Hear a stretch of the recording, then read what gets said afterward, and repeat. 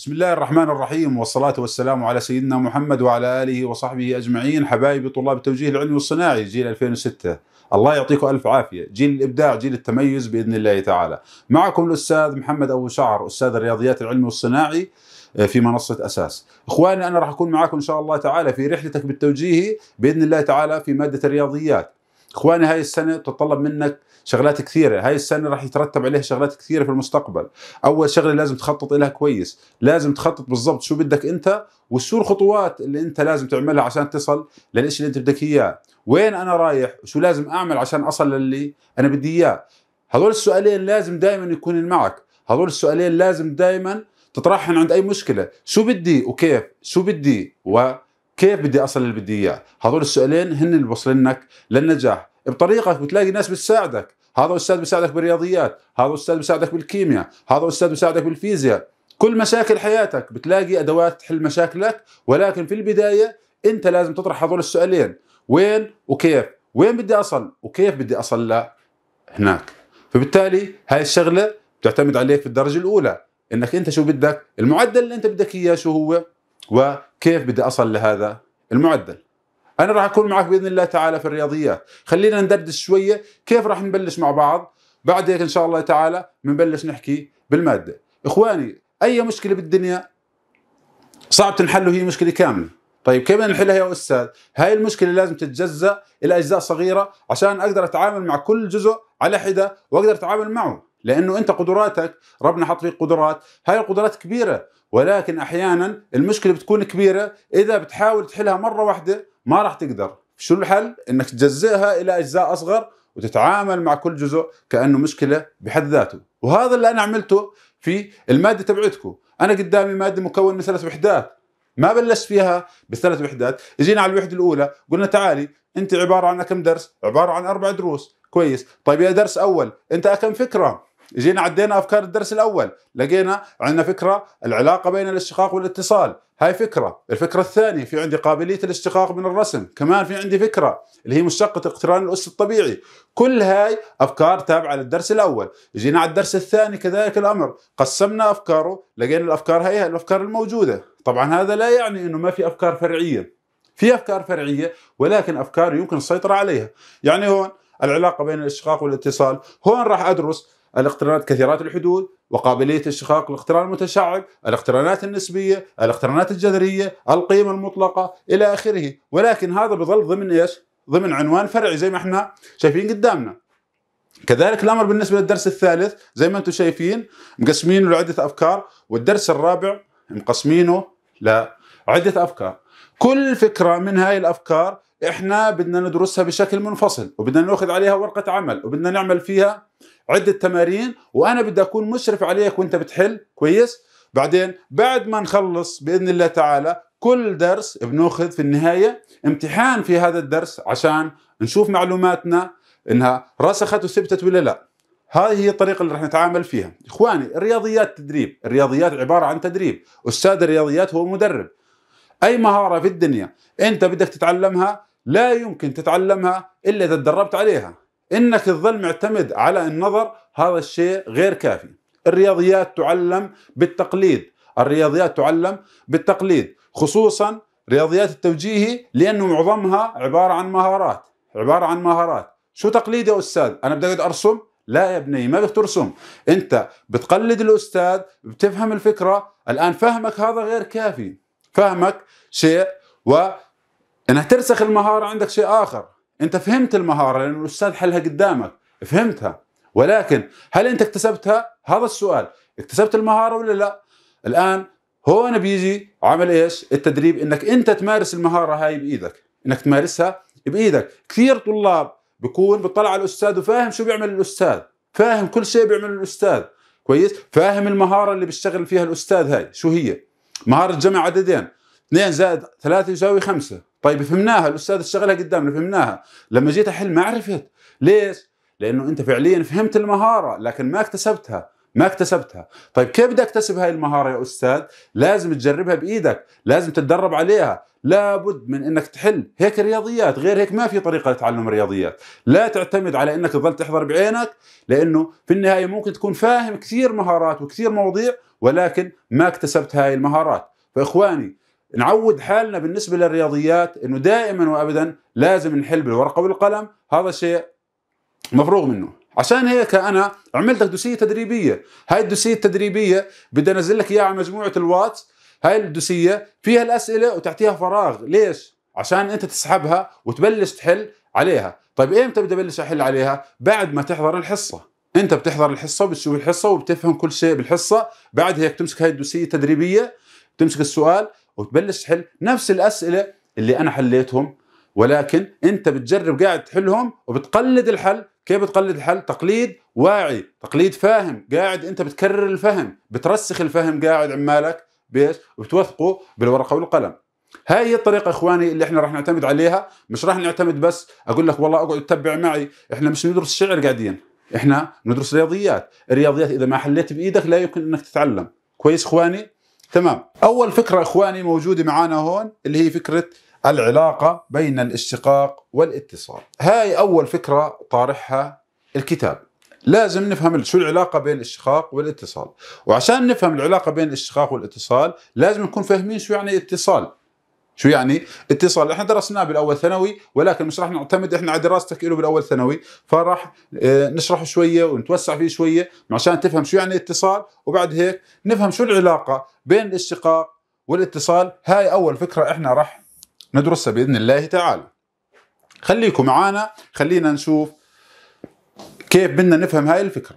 أول شغلة إخواني ممكن الواحد يسأل نفسه سؤال يقول أستاذ اسم الدرس الاشتقاق. طيب أنا شو أهمية الاشتقاق؟ أنا شو بدي أستفيد من الاشتقاق؟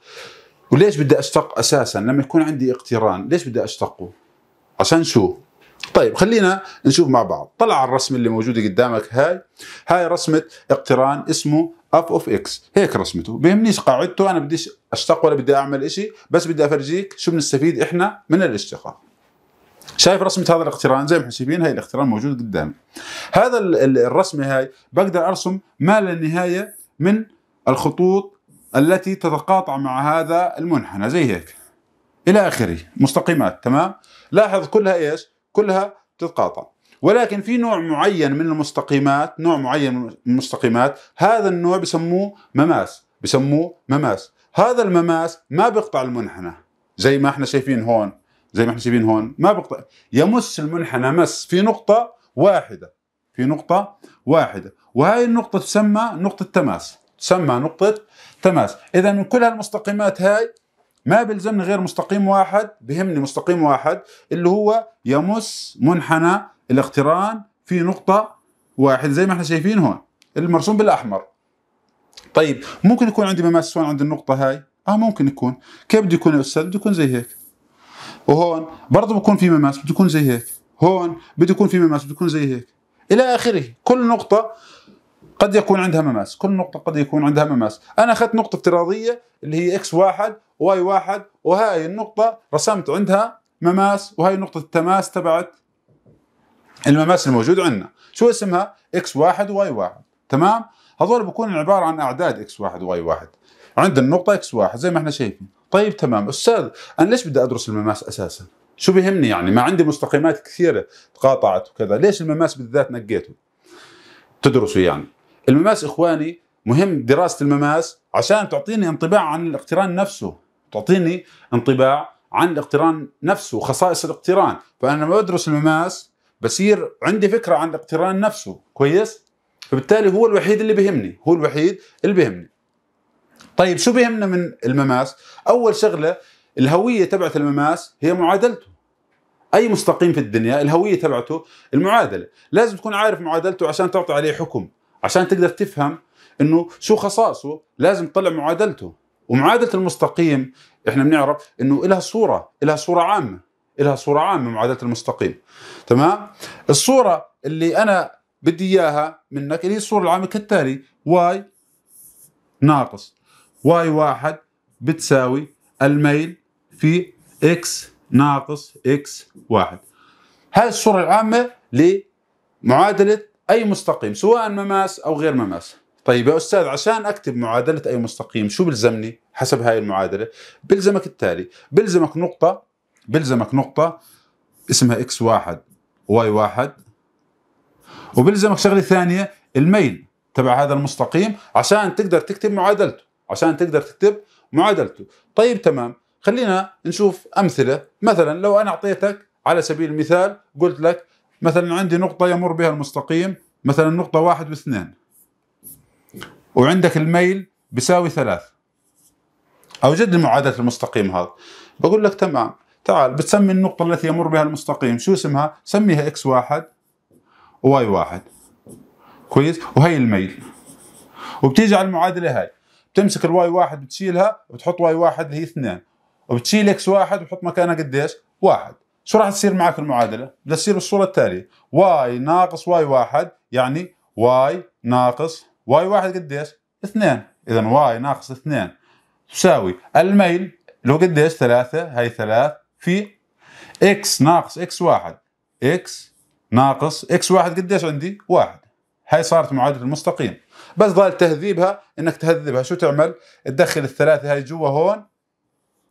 كويس؟ شو راح تصير؟ راح تصير y ناقص اثنين. شو بدها تساوي؟ 3 ضرب x اللي هي 3 x ناقص 3 ضرب واحد اللي هي 3 بعدين أخلص من الناقص اثنين هاي. كيف بخلص منها هاي؟ زائد اثنين. وهون زائد اثنين. شو راح يصير شكل المعادلة؟ الصورة النهائيه y تساوي هي سالب 2 مع زائد 2 راحت. 3 x زي ما هي. سالب 3 وزائد 2 نطرحهما والإشارة الأكبر يعني ناقص 1 اذا هي المعادلة تبعت هذا المستقيم الذي يمر بالنقطة 1 و2 وميله قديش؟ وميله 3 طيب تمام يا أستاذ. الآن إحنا فهمنا إنه كيف بنطلع معادلة المستقيم. بلزمني نقطة وبلزمني إيش؟ بلزمني ميل. طيب يا أستاذ النقطة موجودة. بالنسبة للمماس هذا اللي إحنا بدنا إيش؟ بدنا نطلع معادلته. النقطة موجودة هي x واحد y واحد. اللي هي هاي. واقع المنحنى واقع المماس هاي نقطة تماس. طيب تمام. بضل شو بدك؟ بضل بدك الميل. بضل بدك الميل. الآن هون بيجي دور الاشتقاق. هون بيجي دور الاشتقاق. كيف؟ بيحكي لك الميل عند ميل المماس هذا المستقيم هذا. ميل المماس هذا عند النقطة هاي بيساوي ناتج تعويض النقطة x واحد ناتج تعويض النقطة x واحد وين؟ في مشتقة الاقتران في مشتقة الاقتران أي اقتران؟ لا مش أي اقتران الاقتران اللي هو المشترك مع المماس في نقطة التماس تمام؟ إذا بشتق الاقتران وبعوض في x واحد شو بيعطيني؟ بيعطيني الميل كويس يعني أنا الاشتقاق بمكنني من إيجاد الميل الجواب نعم بمكنك من إيجاد الميل طيب ليش بدي أوجد الميل؟ عشان أطلع معادلة المماس واضحة؟ واضحة إذا أهمية الاشتقاق واحد. إيجاد. إيجاد ميل. إيجاد ميل الاقتران ميل المماس. طيب كويس. طب ليش بدي أوجد ميل المماس أساسا؟ أنا ليش بدي أوجده؟ أنت بدك توجد ميل المماس عشان تطلع إيش؟ عشان تطلع معادلته لإيجاد معادلة المماس. ليش بدي اوجد معادله المماس؟ هاي إن شاء الله تعالى تعطيك لقدام شوية راح تفهم شو بستفيد من معادله المماس لمعرفة خصائص آه، منحنى الاقتران. إذا كان سالب إذا كان ميله موجب إذا كان إلى آخره كل هاي الخصائص بنتعلمها إن شاء الله تعالى. طيب تمام يا أستاذ. اذا وظيفة الاشتقاق أو أنا أهمية الاشتقاق بالنسبة لي إيجاد ميل المماس زي ما إحنا شايفين. طيب هذول سؤالين إخواني لازم تكون قادر على الإجابة عليهم بعد نهاية آه، الدرس الأول أو الفكرة الأولى إنه بيحكي لي هل كل اقتران متصل عند نقطة يكون قابلا للاشتقاق عندها؟ هذا سؤال. السؤال الثاني هل الاقتران القابل للاشتقاق عند نقطة يكون متصلا عندها؟ معنى الحكي الاتصال والاشتقاق، إذا كان متصل هل بالضرورة يكون قابل للاشتقاق؟ طيب والعكس إذا كان قابل للاشتقاق هل بالضرورة انه يكون متصل؟ فشو بيعطيني؟ يعني مين فيهم بيعطيني الثاني؟ هذا الإشي إحنا راح نكون قادرين على معرفته بإذن الله تعالى. طيب قبل ما نحكي عن هذا الحكي خلينا نحكي عن الاتصال. وقبل ما نحكي عن الاتصال إذا أنت ما فهمتش شو يعني النهاية مش راح تفهم شو يعني اتصال فخلينا ندردش شوية عن النهاية نعرف كيف بنوجد النهاية شو المعنى تبع النهاية شو التفسير الهندسي للنهاية. ومن ثم نحكي عن الاتصال. وبنكمل في درسنا. فإذا إحنا قاعدين بنراجع شوية معلومات هاي المعلومات مهمة بالنسبة لنا عشان نفهم الاتصال. قدامنا رسمة اقتران زي ما إحنا شايفين هون. هذا الاقتران اسمه اف اوف إكس بيساوي إكس تربيع ناقص إكس زائد واحد. هاي قاعدته وهذا اسمه. اسمه اف اوف إكس وقاعدته إكس تربيع ناقص إكس زائد واحد. تمام؟ تمام. يجينا على الاقتران هي مرسوم معي أنا بهمني الشعبة هاي من الاقتران بهمنيش الشعبة الثانية على الشمال بهمني هاي الشعبة. يجينا على نقطة افتراضية اللي هي الاثنين. عند الاثنين قلنا لك شو صورة الاثنين. عملت خط عمودي لقيتها ثلاثة. أو عوضت مباشرة هون اثنين تربيع أربعة ناقص اثنين اثنين زائد واحد تساوي ثلاثة. قلنا لك تمام التمام. تمام التمام. إذا صورة الاثنين قديش؟ ثلاث قلنا لك ما بدنا صورة إحنا الاثنين. إحنا بدنا بدنا إياك تعمل التالي. بدنا تأخذ قيم أكبر من الاثنين وتبلش تقرب على الاثنين وتأخذ صورها. يعني تأخذ قيمة صغيرة جدا يعني أبعد عن الاثنين بشوي صغيرة وتأخذ صورتها. كويس؟ وتأخذ قيمة أصغر منها كمان وتأخذ صورتها. وكذلك الأمر أصغر أصغر أصغر بس ما تصل الاثنين تظل تقرب على الاثنين وتشوف الصور وين بتروح. النتائج الصور ناتج تعويضهن وين بروح. هذا الحكي عملناه بجدول زي ما إحنا شايفين. أنا بدي إياك تلاحظ على الجدول بس الفكرة اللي بحكي لك عنها إنه وين بنقرب إحنا لما بنقرب على الاثنين. من اليمين. من اليمين. لاحظ عندك هون 2 و1 بالعشرة. هي صورتها. 3.3 إلى آخره. بعدين قيمة أصغر منها هاي. قربنا على الاثنين. اللي هو هون. قربنا على الاثنين. الاثنين و5% هاي صورتها. كانت ثلاث ثلاث بالعشرة. شو صارت؟ ثلاثة وواحد بالعشرة أو 15% أصغر يعني. طيب كمان قربنا شوية. من 2 و5% ل 2 و1% اقتربنا أكثر من الاثنين. لاحظوا أن الصورة اقتربت من إيش؟ اقتربت من الثلاث صارت 3.3% تقريبا. قربنا كمان أكثر أكثر أكثر. كل ما قربنا من الاثنين إذا بتلاحظ الصور ناتج تعويض. شو بقرب من قديش؟ بقرب من الثلاثة. كان 3.3 صار 3.1% صار 3.1 بال 100000 إلى آخره قاعد بنقرب من الثلاثة. اذا بنقرب من الثلاثة. فإذا بنقدر نحكي تعميم هون. كلما اقتربت قيم x من الث... من الاثنين كلما اقتربت قيم x من الاثنين من اليمين. قيم f of x تقترب من مين؟ من الثلاث. الصور اللي هي الصور تقترب من الثلاث. لو جينا عملنا نفس الحكي من وين؟ من اليسار. أخذنا قيم من اليسار. قيمة بعيدة شوية. بعيدة شوية عن الاثنين من اليسار بس على يسارها. وأخذنا صورتها. بعدين اقتربنا شوية نفس الشيء أخذنا صورتها واقتربنا كمان وأخذنا صورتها تمام هذا اللي سويته أنا هون لاحظ إنه كل ما اقتربنا من الاثنين برضو القيم قاعدة تقترب من إيش؟ كانت 2.7 2.8 2.9 2.98% 2.99 قاعدة تقترب برضو من إيش؟ قاعدة تقترب من الثلاثة فاذا هون كلما اقتربت القيم من اليسار من الاثنين الصور تقترب من مين؟ من الثلاث هذا الحكي اسمه النهاية من اليمين إنه نهاية الصور تقترب من إيش؟ لما إكس تقترب للاثنين من اليمين. لاحظ بيقترب للثلاثة. تقترب من الثلاثة. فبنحكي limit f of x لما x تؤول الاثنين من وين؟ من اليمين. يعني الصور وين بتقترب؟ لما x تقترب للاثنين من اليمين قاعدة تقترب الصور للثلاثة. طيب من اليسار؟